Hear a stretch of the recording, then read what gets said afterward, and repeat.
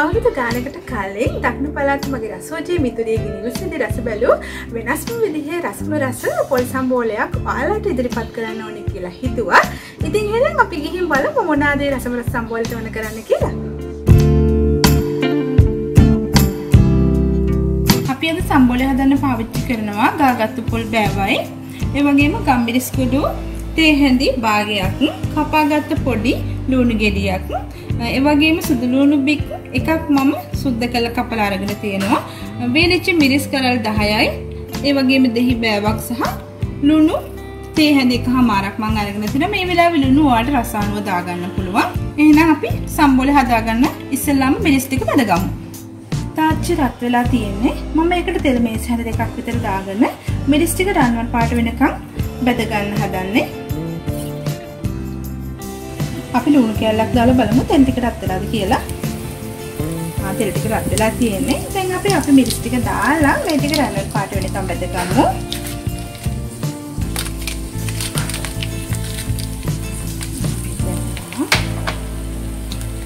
මිරිස් ටික කර වෙන්න දෙන්නේ නැතුව බෙද ගන්න මේ ටික හොඳට.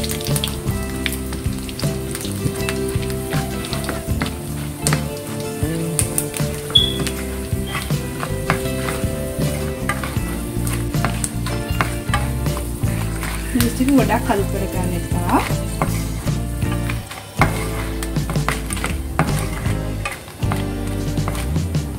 විනාඩියක් විතර බදගත්තාම මේ වගේ රන්වන් පාට වෙලා ආවා අපේ මිරිස් ටික. දැන් මේක හොඳට බදලා තියෙන්නේ.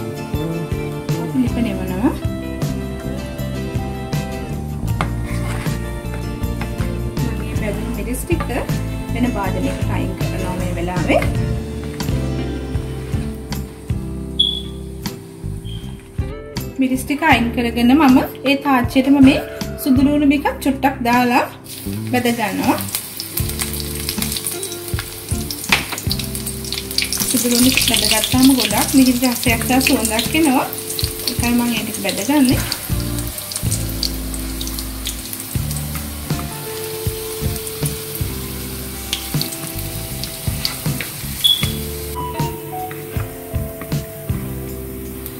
ලා දුඹුරු පාටක් එනකන් බැදගත්ත මැදි මේ ටික.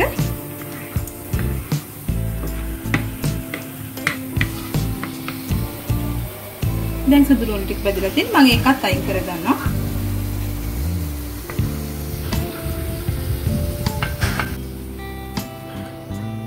මම දැන් මේ බැදගත්තු මිරිස් ටික සුදු ලුණු ටික වංගෙඩියට දාලා කොටා ගන්නයි ලෑස්ති වෙන්නේ. ඒ අතරතුර මම ඉතුරු අමුද්‍රව්‍ය ටිකක් දා ගන්නවා crispy කරද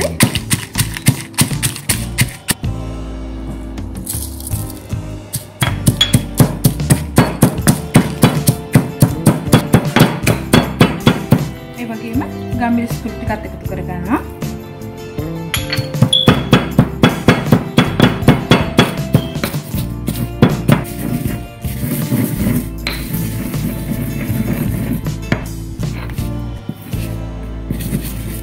කරගන්නවා බැදලා තියෙන නිසා මේක හරීම මිහිරි සුවඳක් එනවා.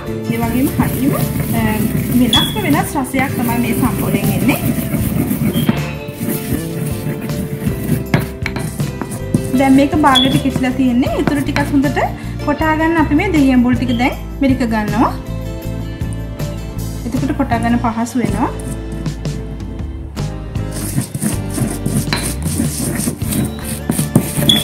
බලන්න දැන් ඉක්මනින් කෙටෙනවා.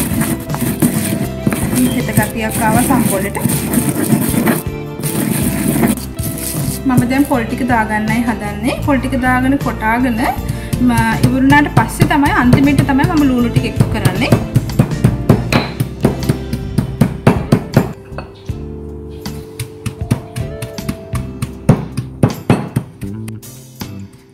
දැන් අපි කෙටලා තියෙන්නේ. මම අන්තිමට මේ වෙලාවේ ලුණු ටික එකතු කරගන්නවා. ඒ වගේම ලුණු ටික කෙටනවත් එක්කම මේත් එක්කම ඔයාලට දෙහි ඇඹුල් සහ ලුණු රස බලන්න පුළුවන්. ඒක රස අනුව ඔයගොල්ලෝ මේ වෙලාවේ එකතු කරගන්න.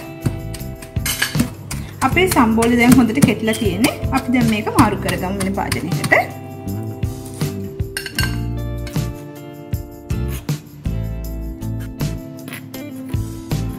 එහෙනම් ඔයාලත් මේ වගේ රසමරස සම්බෝලයක් හදලා බලලා කොහොමද කියලා මටත් කියන්නකෝ.